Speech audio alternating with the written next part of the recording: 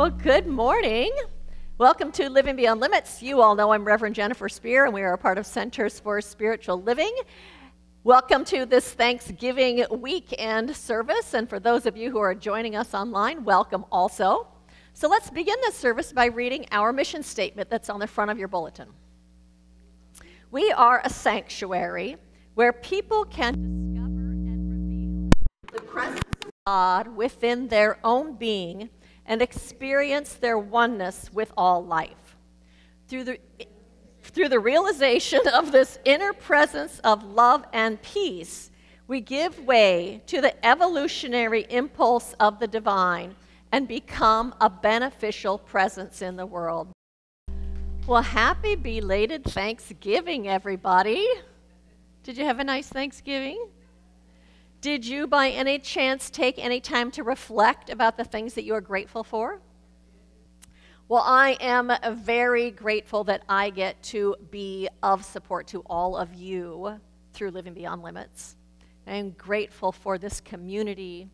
I am grateful for the love and the care that you share with each other. It's so lovely to be a part of that. The love and the support. And you know what? It isn't just this philosophy that we teach here that actually acts as an anchor and a buoy when things are stormy outside.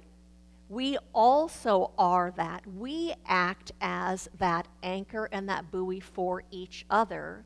This community acts as that through our love and our acceptance and our care for each other. So, at Living Beyond Limits, part of our vision is to be this soft place to land when the world is hard. But we are also that soft place to land for each other when the world is hard. To me, that then means that what we are doing here, what we have created here, is a divine idea in the mind of God. That that is being on purpose of what we are here to be doing. And I know that it is really easy right now to feel overwhelmed by everything that's going on in the world. It's really easy to feel nervous about the future and all the things that are being forecasted as to what might happen. And with all of the division and the polarization in this country, it's really easy to feel helpless and to feel hopeless and to feel discouraged. And I know all of us feel some of those things at some time. And I think in the midst of all of that that is going on in the world, it is more important than ever at this time that we have that safe place to land, that we have that buoy and that anchor, that we have a spiritual community. This community of like minded people who are open hearted and who are coming from their spirit. It's more important than ever that we have a place to come where we feel like we aren't alone and where we feel like we are loved and we are cared for and we are reminded of who we are. We've created that together. I didn't just create this. I started with this vision, but all of us, we are the ones that have created this atmosphere. And so when the world is tumultuous, we need a safe space a place where we can rest when we're weary, and a place that we can recalibrate before we move back out into the world. And when we're emotionally challenged, whether it's something going on in our own personal lives or something going on in the world, we need to be loved and supported. We need to know that we're cared about. And we need to know that we're not alone when our egoic self gets so caught up in the world and what's going on and thinks that somehow that world is going to take away or diminish our sense of well being, that's when we need to remember who we are as spiritual beings. That we are none other than that living spirit here incarnated in these physical bodies living this particular lifetime to know that we are the embodiment of that infinite one. To know that who we are is the I am presence as us. And we are reminded of that through the talks. We're reminded of that through the readings. We are reminded of that through the songs that we sing. And we are reminded by, of that by being in the company of each other. Because what happens when other people see the good in us, when other people see the divine potential in us, when they believe in us, it's easier to bring that forward. It's easier to own that. It's easier to be that. And so there's a story that says, it was a busy morning, approximately 8:30 a.m when an elderly gentleman in his 80s arrived to have stitches removed from his thumb. He stated that he was in a hurry and that he had an appointment at 9 o'clock. I took his vital signs and had him take a seat, knowing that it would be long over an hour before someone be, would be able to see him. I saw him looking at his watch and decided since I was not busy with another patient, I would evaluate his wound.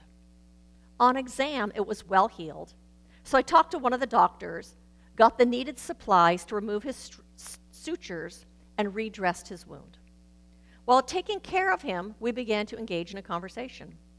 I asked him if he had a doctor's appointment this morning, as he was in such a hurry. The gentleman told me no, that he needed to go to the nursing home to eat breakfast with his wife.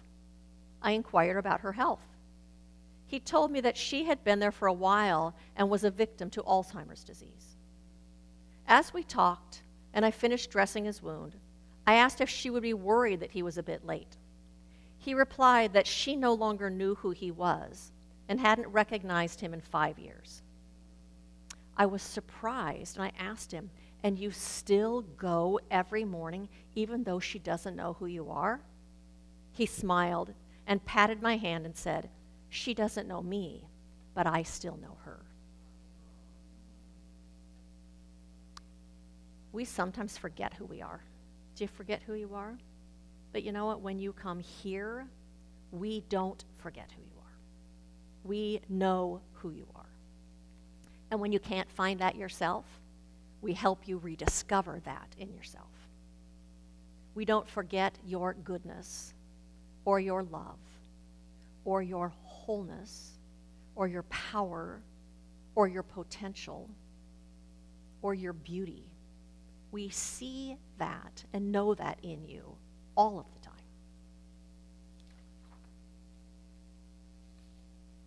We all need to remember that there is more going on in the, than the picture that the media paints for us, that there is more to the picture than that.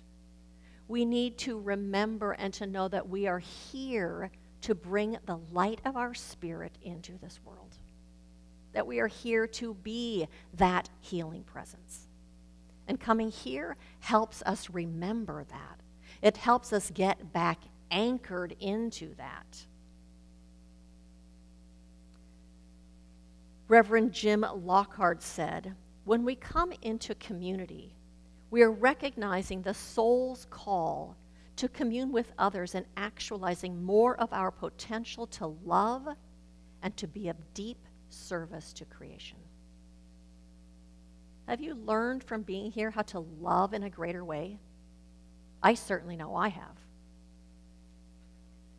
Together, we actualize a love that we might not other act, otherwise actualize. Because, and part of the way we do that is actually just through loving each other and unconditionally accepting each other with all of our idiosyncrasies and all of our foibles, and with all of our beauty and all of our love and all of our goodness and all of our delightfulness. And then, on top of just that community, we also do that by doing the community outreach that we do gives us the opportunity to discover something in ourselves, a love, and to actualize that love in a way that we would not do probably if we weren't part of this group. We learn and discover a generosity inside of ourselves and a kindness inside of ourselves and a care for people that we don't even know.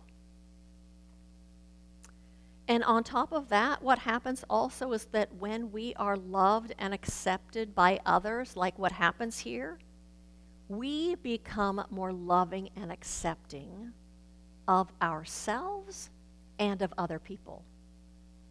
It wakes something up inside of us.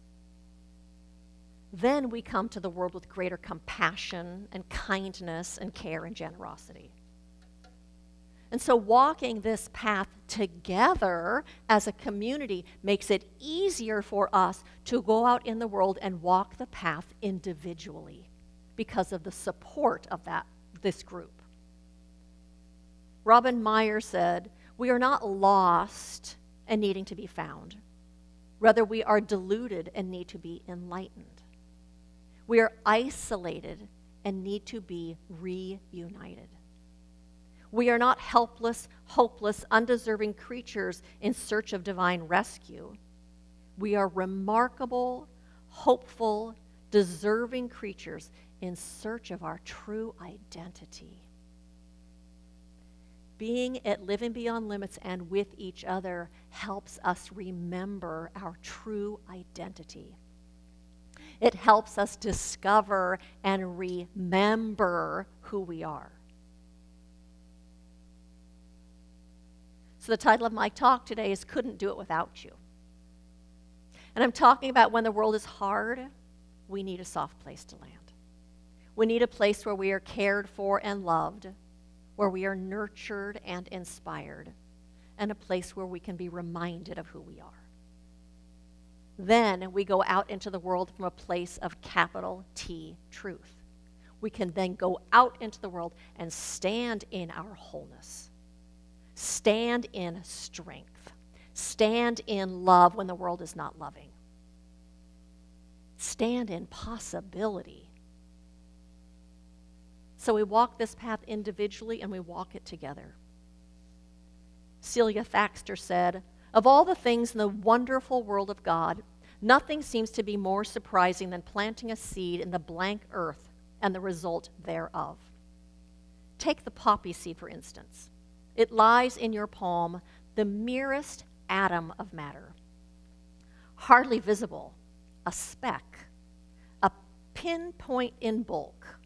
But within it is imprisoned a spirit of ineffable beauty, which will break its bonds and emerge from the dark ground and blossom in a splendor so dazzling as to baffle all powers of description.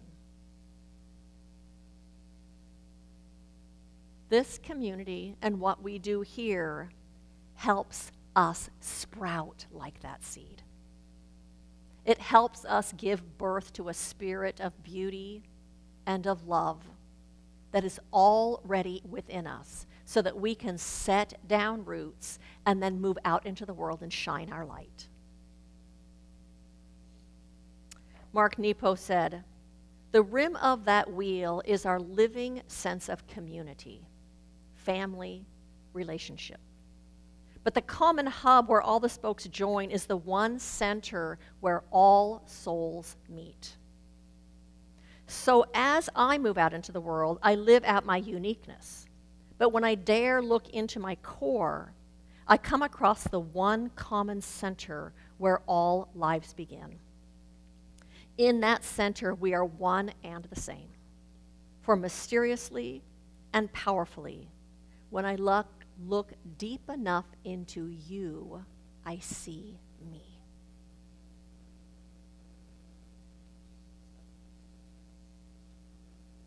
When you see my spirit, when you see my divine nature, it makes it easier for me to see it.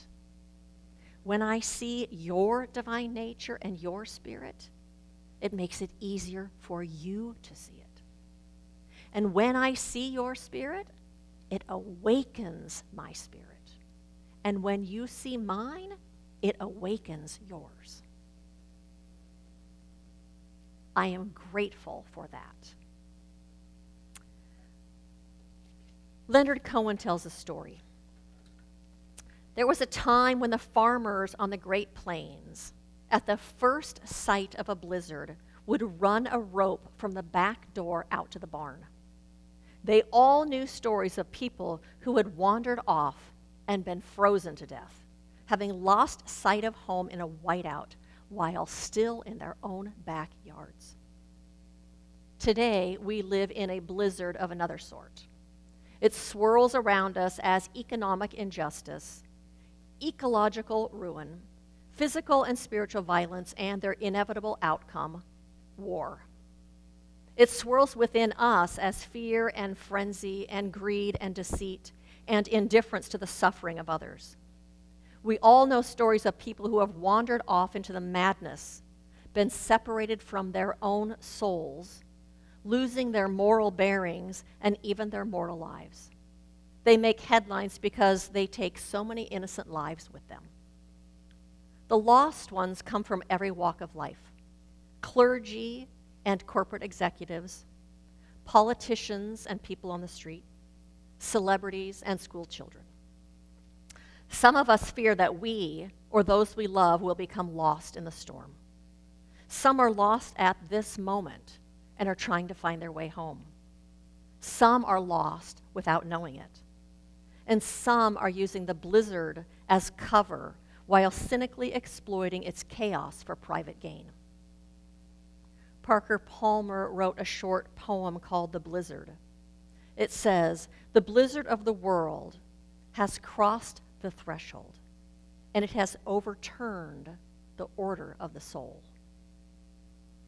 It's easy to believe that the poets claim that, quote, the blizzard of the world has overturned the order of the soul. Easy to believe that the soul, the life giving core of the human self, with its hunger for truth and justice and love and forgiveness, has lost all power to guide our lives. But my own experience of the blizzard, which includes getting lost in it more often than I'd like to admit, tells me that this is not so. The soul's order can never be destroyed. It may be obstructed and obscured by the whiteout. We may forget or deny that its guidance is close at hand. And yet we're still in the soul's backyard with chance after chance to regain our berries bearings. When we catch sight of the soul, we can survive the blizzard without losing our hope or our way. When we catch sight of the soul, we can become healers in a wounded world, in the family, in the neighborhood, in the workplace, and in the political life, as we are called back to our hidden wholeness amidst the violence of the storm. And so, what I'd like to do right now is have you take and hold onto a piece of this symbolic rope. The rope that goes from the back door to the barn that you can hold onto. I want you to know that if you feel lost in the storm, that this community is a lifeline for you to come back home. Home to this community, home to yourself, home to the truth, home to the ground that you sometimes lose sight of, home to spirit, the one infinite reality. That we have each and every one of us created this for ourselves and for each other. Allow yourself to come here and for this to be your safe harbor. Remember that when you're not here, you still hold the rope that takes you home.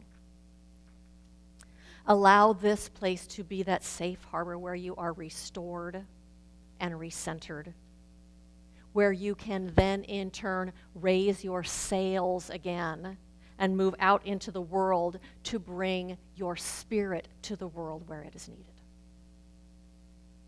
Know that we've got you. Know that we are holding each other and invite you to hold each other in the light. To pray for each other, to know that that eternal thing itself goes with each one of us and is within each one of us all of the time. And as a result, you will have greater ties with each other. Be carrying the love and the support of this community in your heart with you wherever you go. And so I invite you to be seated, but to still hold onto your rope.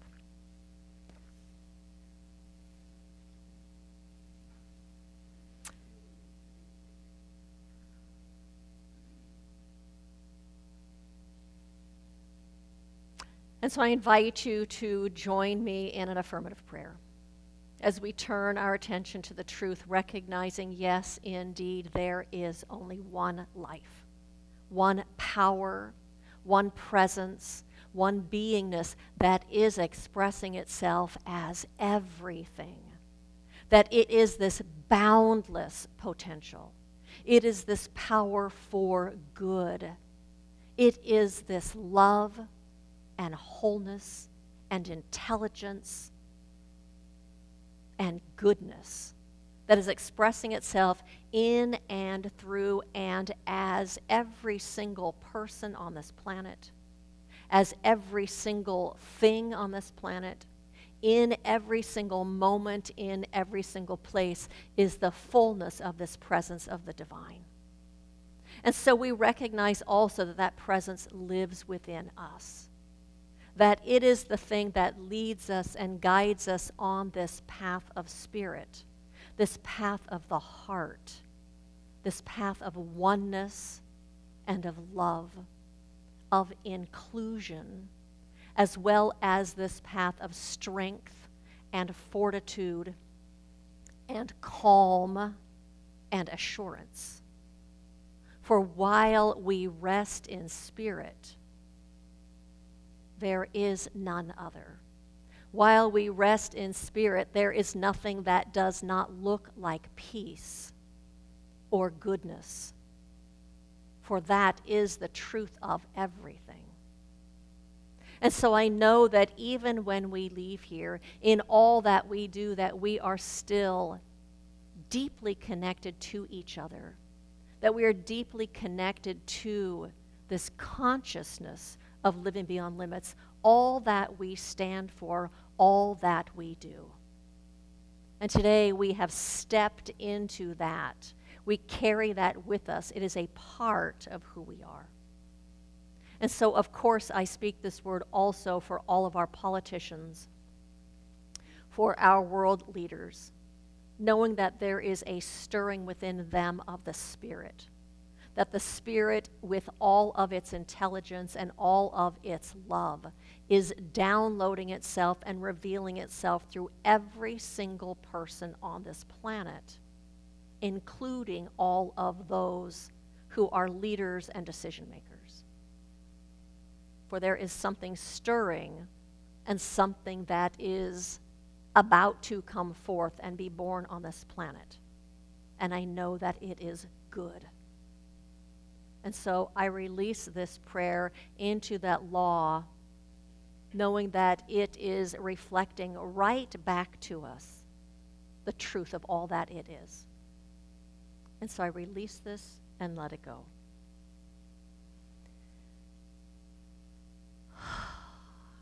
And so I invite you to go ahead and set this, this rope down, knowing that it is also a part of the ground upon which we stand. And so I say blessings to all of you. And so it is.